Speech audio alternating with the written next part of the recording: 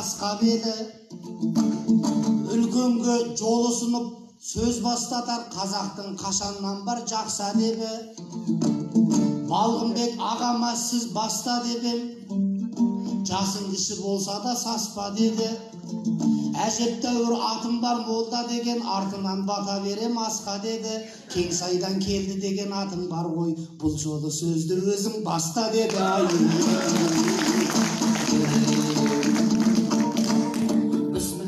басталар бар жақсылық.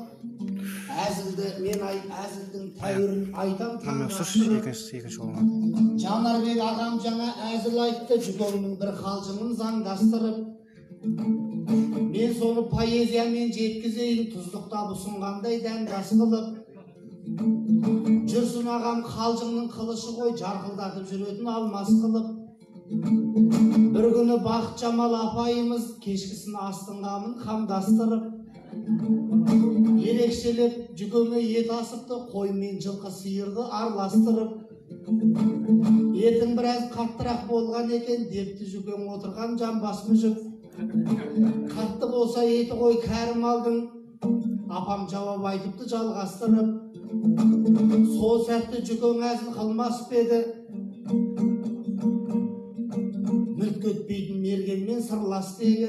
Қазанға ет боп түскен мына малдар депті ғой бір бірімен құрдас па еді уай сол әзілді әрі қарай үдетемін. Білемін соң жағында дүр етерін. Айтыста бір қазандағы ет емес пе? Білесіздер сорпасы жыр екенін бұл жердегі жандарбек ең жас ет қой марқадай толысып тұр міне керім мұхтар мұхтар үстем қойлары құрбандықтың түкті қошқар дейді ел бұл екеуі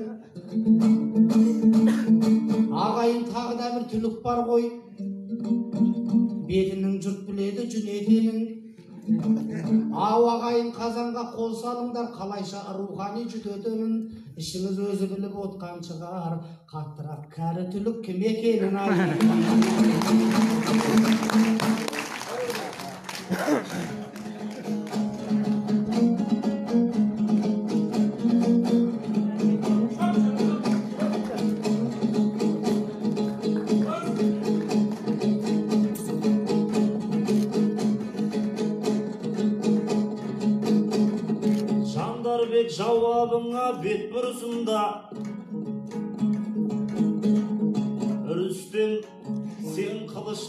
Өткірсің ба жандарбек ең жас бала деп қояды сырымды менен кәрі деп тұрсың ба звондап үш күн бұрын заң шұғайып айтысқа шық деп айтты ал шығайық үрісте мал мүлік боп нағыламыз атыңа ақын деген болшы лайық қайтеміз қорадағы малды жырлап төрде отырған халықтан хал сұрайық.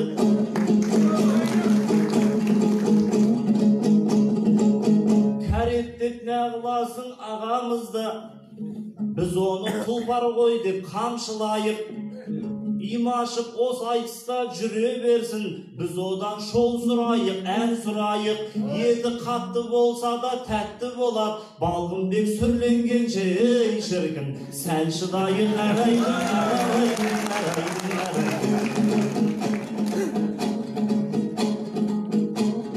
керемет өтіп жатыр кеш көңілді ақындар өлең жырын кеспе қылды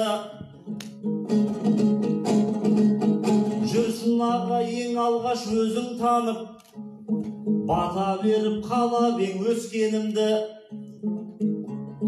Бірақ көп айтысыңа шықпай қалдым еске алып нағыламын ескі өмірді дәл бүгін өзіңізбен татуласып болсақ па деп отырмын қош көңілді.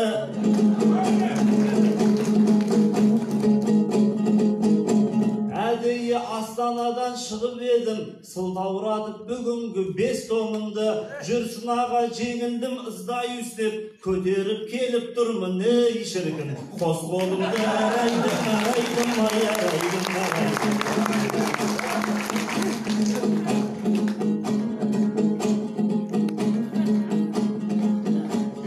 жүгеннің талай басып паркетінен шайын ішіп жеуші едің конфетінен үрістен бақыт жамал апамыздың соғымын жеп тұруды салт етіп ең бір рет қатты боп қалған етін айтып апаңның қысылмадың әлпетінен асанәлі ағам жаңа жуамыз деді сен сондай қызықтықты тәрк етіп ең бүгін саған ет түгіл сіңір де жоқ күдері ермановтың жал бетінен жүкеңнің айырылайын деп тұрсың ау. Кештен соңғы керемет ей шіркін. Банкетінен әрайдың әрайдың ай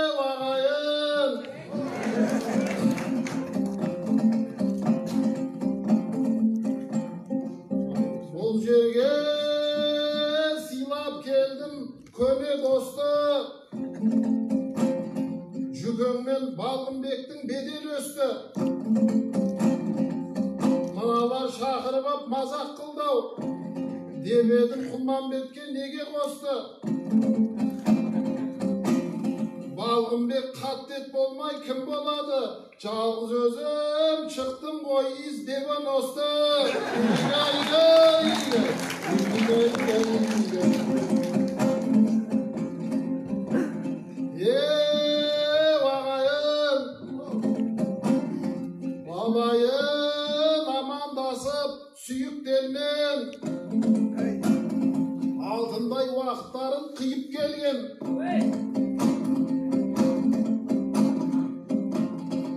ораз ақын ағамыз өтіп кетті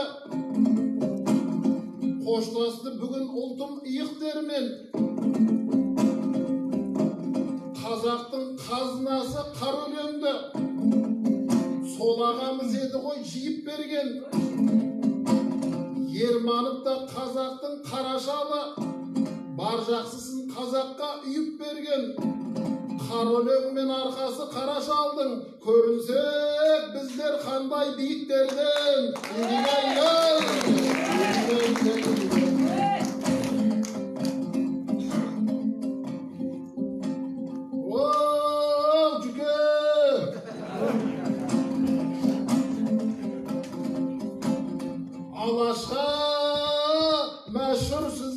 Сіздің есіміңіз алмайды қорландыдан кесіміңіз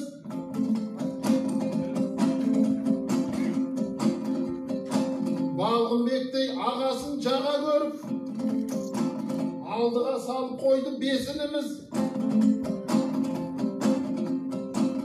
жалғыз ұл деп жүректі ауыртып ең бүгін міне тербелді бесігіңіз тұсауын жаңа ғана кесіп жатқан бес томыңыз секілді бес ұлыңыз. Құдайым денсаулықты беріп сізге. Күн сайын арта берсін несібіңіз асанәлі ағам банкет жайлы айтып қалды білмеймін не әзілі не шыныңыз. Сақалды балғынбектер келіп қалып біразға ұнамай тұр пошымымыз әдемі өтіп жатқан вечеріңіз халал той болып кетсе кешіріңіз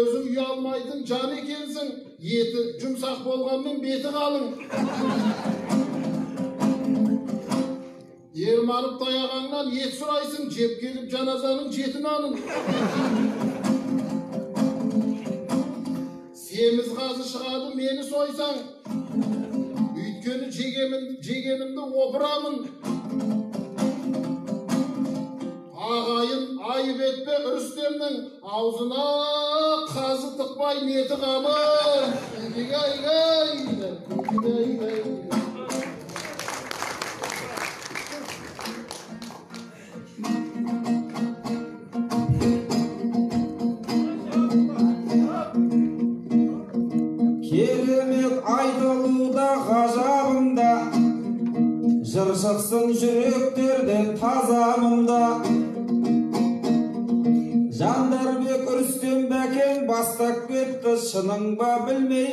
мазағың ба жеке ау жеке бес томдығың құтты болсын өлең менен өнердің базарында.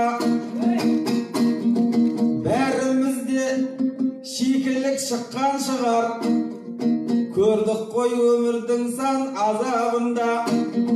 Бес томдықта басымыз қосылып тұр. Енді себеп жоқ қой құр сазаруға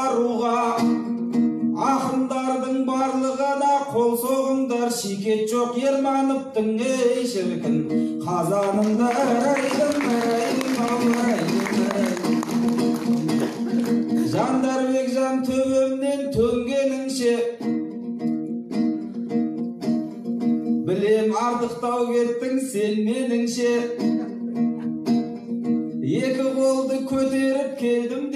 осылай істеуші ме ер жеңілсе жүкеңе көрімдікті әкелсеңші екі қолды көтеріп ей шіркін келгеніңше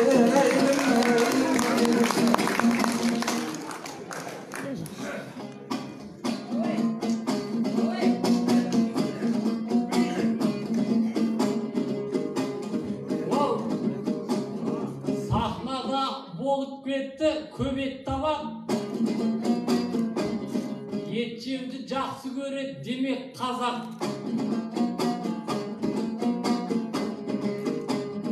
ет қылған ақындардың барлығында рүстемнің әзіліне не деп болады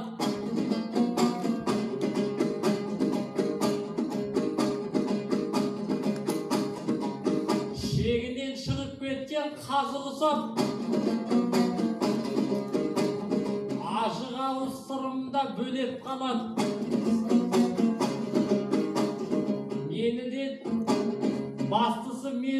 кетпеңіздер балаға қақтырыңдар демеп қанат. Осынша еттен кейін мен сияқты тіс шұқитын таяқша керек болады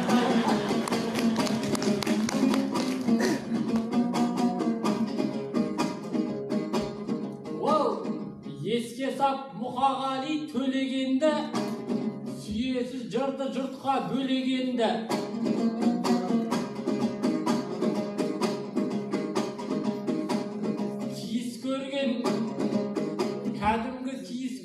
Керзетіктің шұлығындай көрдік қой көнелерді. жетпіске таяса да жүрсін аға жастардан жақсы жазады көп өлеңді бүгінгі бес томдығың құтты болсын. қуантқан өлең сүйер өрел елді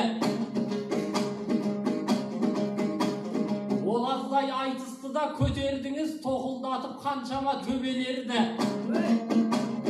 Жүрсіз өліп тіріліп айтыс деген демеу үшін қазақтың өнері өлді біздің ауыл шалғайда жер түбінде деп басталған сүйсінткен өлең елді. Шалғайдағы сол ауыл бар қазаққа сыйлады сіз сияқты көрегенді. Жер түбінде туса да жүрсін аға төр басына шығарды төленерді бай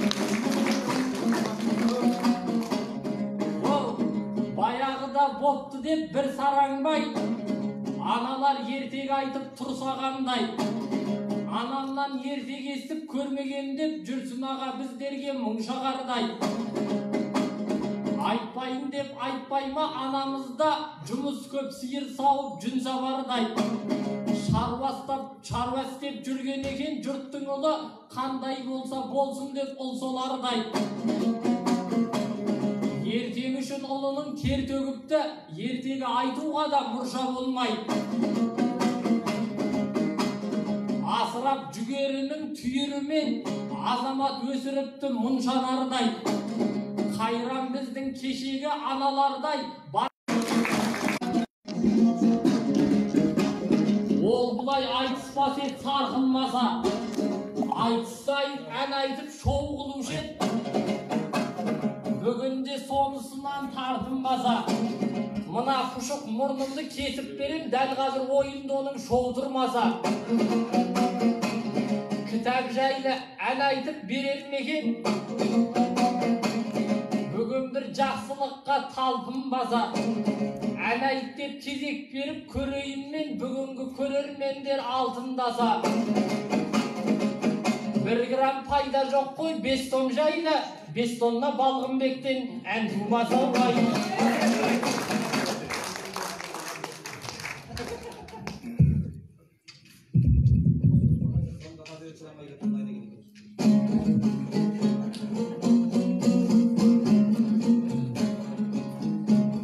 барлығы айтып кетті қазір етті рүстем бастап оны әзіл етті тұщы құғышқа жеткеннен соң байқаймын бұл теманың мәзі кетті қазір ғана етті жеп болсаңыздар ал енді қарсы алыңдар қазір етті ғой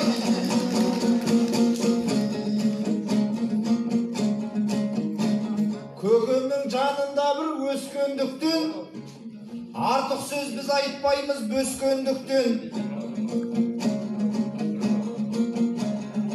ораз ақын атамды аттандырдық татар дәмі таусылды дескендіктен бес күн жалған деп бекер айтпайды ғой тоқсанға жетпей жатыр сексен біткен. Қараңдаршы дүниенің жалғанына бүгін бүгін шыға бір ақын қоштасып бес күнменен бір ақынның қауышты. Бес томдықпен ай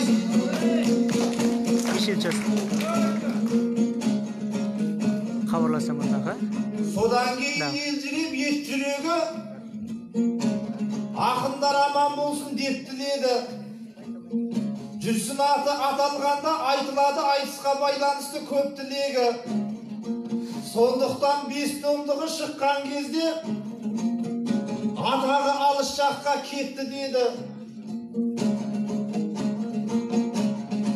жүрсінді тек көретіндер сахнадан ол өзі ақын беді депті көбі. Бірақ та ода тұрған ештеңе жоқ алаштың солай болған тектілері. Көкемді көп адамдар ақын емес ақындардың әкесі деп біледі ғой. Поэзияның атқандай тағы таңы. Демеңдер қасіреттің жағы талды. Жүкең әлі жаңылған жоқ өз жолынан өлеңді әлі талай ағытады бұл жүкең айтыскерлердің атасы әкесі деп біраз адам байқаймын қағытады ал жүкең қолына қалам алсаң оқырманды у жырға жарытады ақындардың әкесі қалам алса жазбаның да әкесін танытады ой құлманбетті аяқтап сәніменен өлеңді дәл дәміменен балғын ағам әрмен қарай түйіндесін батасымен әдемі әніменен ай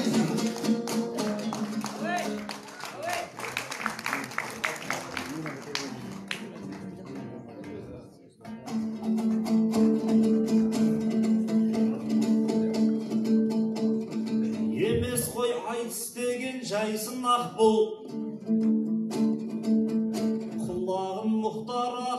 қайшылап тұр. Құралақан келме деп бес томдыққа мол деген тай сұрап тұр шай сұрап тұр. Ораз ақын асқарды жырлап жатқан. Демеңдер біздің шумақ жай шұбап тұр. Дәл бүгін ермановтың қос жанында орыны ораздардың ей шіркін. Ой сұрап тұр әрайдым әрайдым ау әрайдым әрайдым. Иірдік қой ұршығын ал той думанға ақын мен жыршы құмар ерманов ұлытаудың ұллары ғой сөйлесе сары майдан қыл суырар. Қазба байлық қан емес қарсақ байда жазба байлық дейді ұғым тылсымы бар. Деп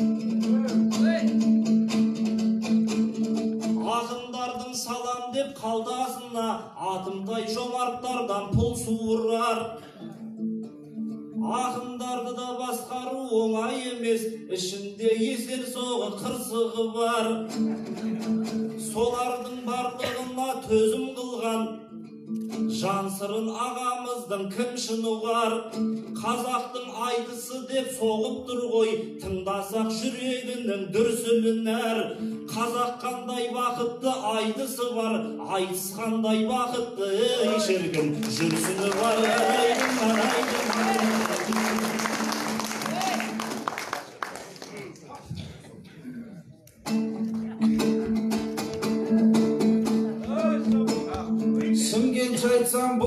кешті зор кеш дермін айтыс деп қарасаннан сор кешкен кім жүкеннің бар жазға, бар жазғаны бес ақ томба. Деп жүруші ем себебін енді ескердім. Осы айтыс деп жүгірді қаншама жыл. Қуаты соған кетті ау сол кештердің. Жандарбек айтқандай ақ айтыс үшін ақшасын тартып алған берместердің. Шыр-шыр етіп жүріпті ортасында тәртіпке көнгіштер мен көнбестердің.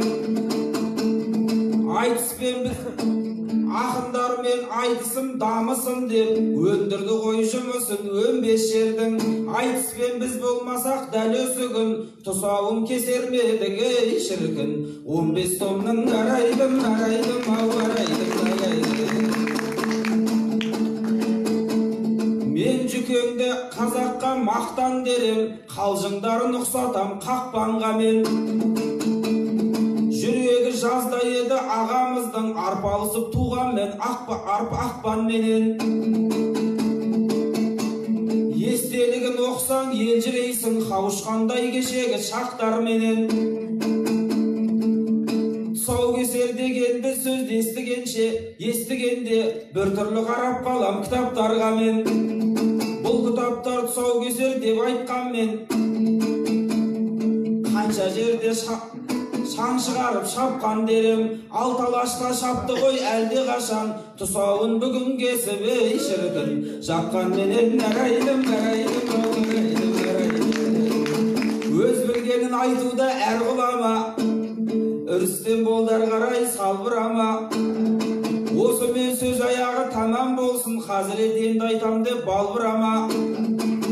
Сырымменен жандарбекте қойсын енді. Өлеңді көп енді созып қалжырама. Издевиносты жақтан келіп тұрған әнменен аяқтасын ей шіркін балғына қарайдым қарайдым қарайдым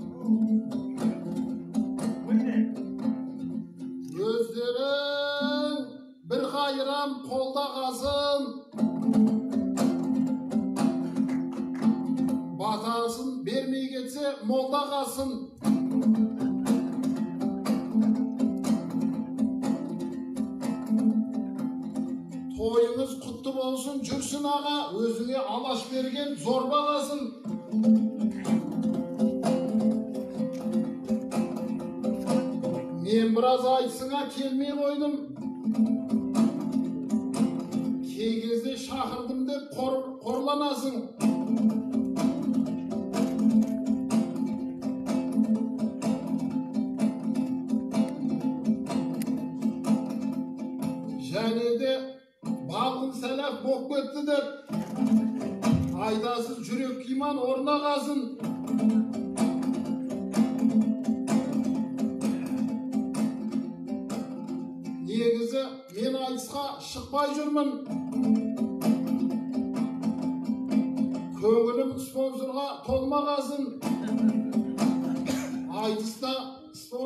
тізімінде сәрсеніп ермек айып болмағасын Ей, ей!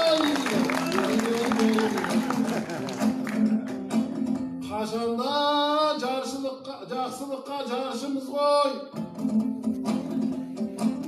әуеден тамшылаған тамшымыз ғой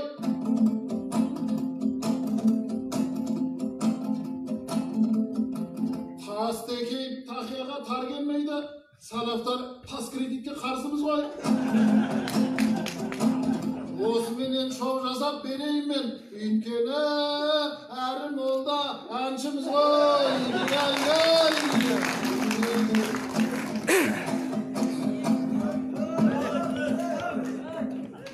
бестом деген тауып алып сылтауды бұл ақындар ұнатады шырқауды толағай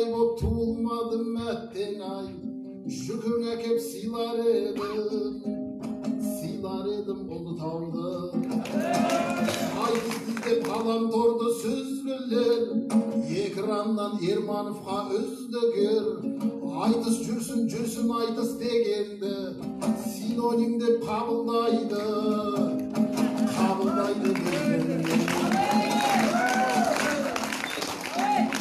таласпай ақ ермановтай көкеммен осы өнердің өкілі боп өтем мен қаранардай жүрсін ағам өйткені осы айтысты отыз бес жыл отыз бес жыл көтерген айтыс үшін түскен талай егеске қобланды да еңбегінің бәрі есте. Тайбұрылдай жарты ғасыр баптаған құртқа соның бақыт жамал бақыт жамал емес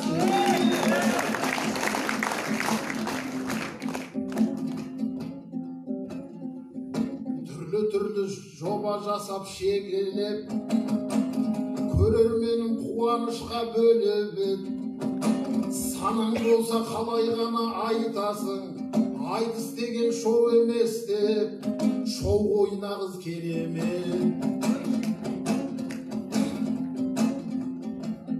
әр өлең өлеңінің бәрі сұлу сырбаздай жасқа бес том деген мүлде аз ғой. Өмір бойы айтыс үшін алысып талай жылың өтіп кетті ау өтіп кетті ау жыр жазбай одақтағы жүрсін ағам берсе дем төлөнердің өлмесіне мен сенем. Қалай ғана астанадан келмеймін. Ермановқа қарызбын мен қарызбын мен белшеден елбасымыз жастар жылын бастауда болмайды ма? Үлек- үлес қоспауға тағы бұдан кейін тағы бес том жазам деп жүрсін ағам жол береді жол береді жастарға.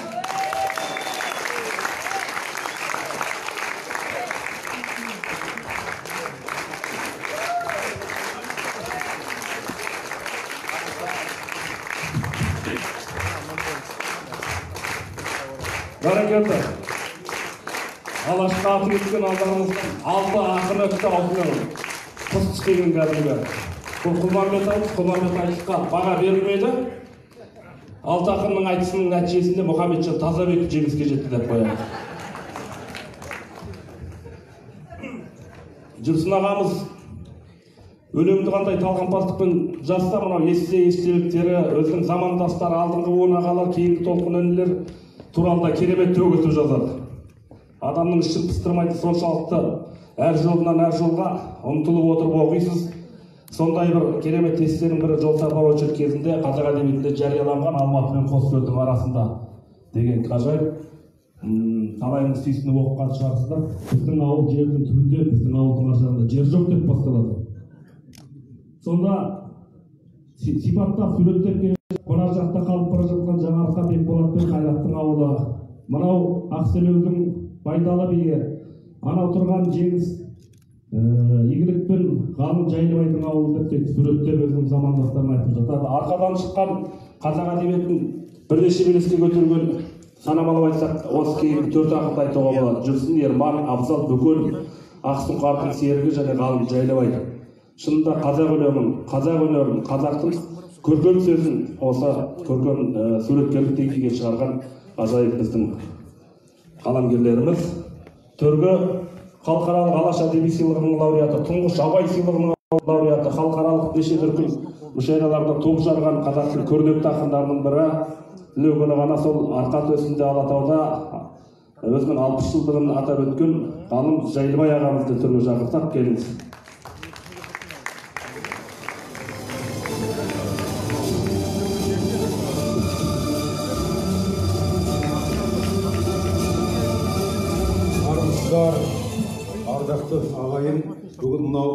Жүрсін ерманның ақынның тойы ғажапты той той біткеннің ішіндегі ең асылы ең бекзаты ең сұлуы бұл ақынның тойы деп ойлаймын. Өлеңнің тойы рухтың тойы. Қаршадай кезден арманым болған ақ құсым көңіл біткеннің тақ төріндегі тақпысың азабыңдысың тозағыңдысың оңдысың бейуаққа келіп бейуаққа келіп басыма қонған бақпысың деп осы үлкендердің замандасы жарасқан әбдіраш жырлағандай болмаса фаризаның да- да- дала нала түндерімнің дара түндерімнің серігі болғаның үшін серігі сені болғаның үшін мен сені аялаймын. Біреудің пасықтығынан біреудің жасып мұңынан жаным сыздаған кезде көңілім мұздаған кезде мен сені саялаймын. Мұқағалидың ақын болып несіне жаратылдым? Құшағында қап қоймай қара түнің деп айтатын секілді ақындық деген бір бақ пен сордан ақ пен қарадан. Қазір енді өлеңші көп. Мына ұйқасқанның бәрі өлең деп ойлайды Ә, сондай заманға тап болдық. Ал шын мәнінде санасақ жаңа жанарбек айтқандай ана серік ақсұңқарұлы осы қасымнан кейін арқадан біз төрт ақ ақын шыққанбыз деп жазып соған төрт салт атты деген өлең жазған. Шын мәнінде бұл өте бір азапты жол соның жолында өмір бойы менің жүрсін ағам ә, жүрсін бауырым ә, жүрсін досым ә, біз осы кісілерге қарап өлең жаздық. Адам деген ақындықты ақынды жалғыз өзі ақын шыға алмайды ешқашан. Мына орыстың ұлы сыншысы белинский айтады егер тума